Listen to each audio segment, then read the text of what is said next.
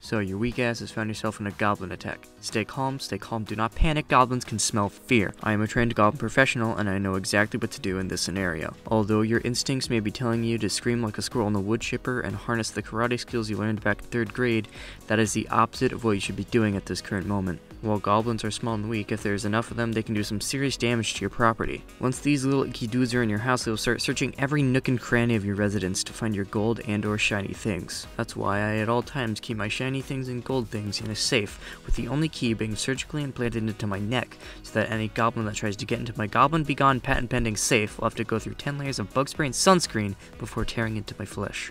Also, if you get a safe, make sure to spread salt around it, because goblins need moisture, and if they come in contact with any drying agent, they turn into a raisin almost immediately. Okay, back to the present. There are goblins at every door and every window of your house. Hell, even some goblins are on your roof trying to tear off the shingles that you just had replaced. What you need to do now is arm yourself with anything blunt.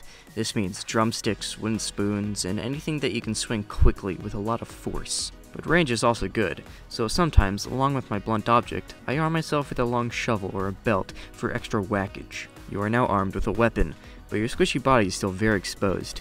No, your creeper sweatpants and minion t-shirt will not be good enough to protect you.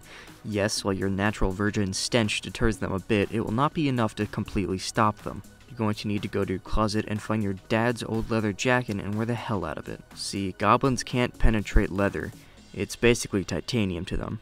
Now you're to need leather pants, but you probably don't have those if you're not a hooker. So the next best thing is jeans. Well, no, it's not the same caliber as leather, it'll still be hard for them to get through. It's about the same difficulty for them as it is for me when I try to open the tortilla chip bag at 4am. Now that you are armed with a weapon and some armor, you need to find your pale ass some bug spray. Remember how I said that I cover myself with bug spray and lotion all the time? I do that because goblins are allergic to both of those things. When they eat that stuff, they swell like a balloon and pop within the next 3 seconds of them eating it. Okay, back to finding some bug spray.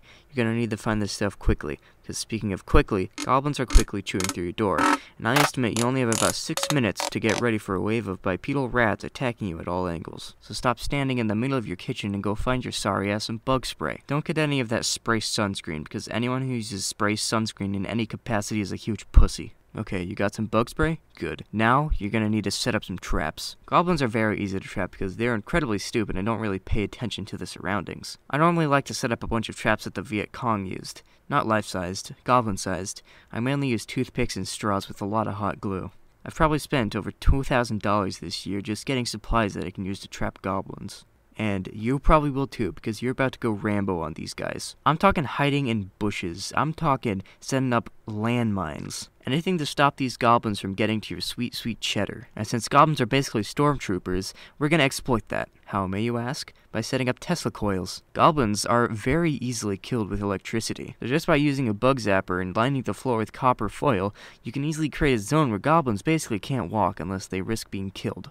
Though buying a bug zapper just to kill goblins may be a little expensive for someone who uses bagels to make a PB&J sandwich. The next option you can choose is by getting a bunch of 9 volt batteries and wrapping copper wire around the two ends, creating an electrified tripwire. And yes, 9 volts is enough to kill a goblin. Another thing you can exploit is their moth-like mentality. They are very attracted to bright lights, none of that dim light bullshit. So what you can try is by going outside for once, digging a big hole, put a lamp in the middle of it, and then cover the hole with a bunch of sticks and leaves. And so the goblins run towards it without thinking what a lamp might be doing outside. After they fall in the hole, you basically have a stockpile of food. Every part of the goblin is edible, even raw.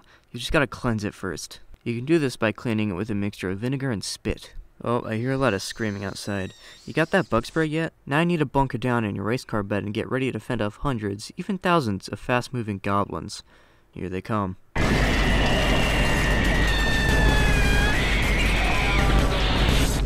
Hey, dipshit, you still there? Oh, okay, good. Congratulations, you have survived your first goblin attack. Now that I have taught you how to survive a goblin siege, you can now go down and press the subscribe button. I normally charge $4.99.99 for a session, but I'm gonna give you a special offer because you seem kinda cool. Just subscribe and I'll let your family go. Now with that tutorial over, fuck you.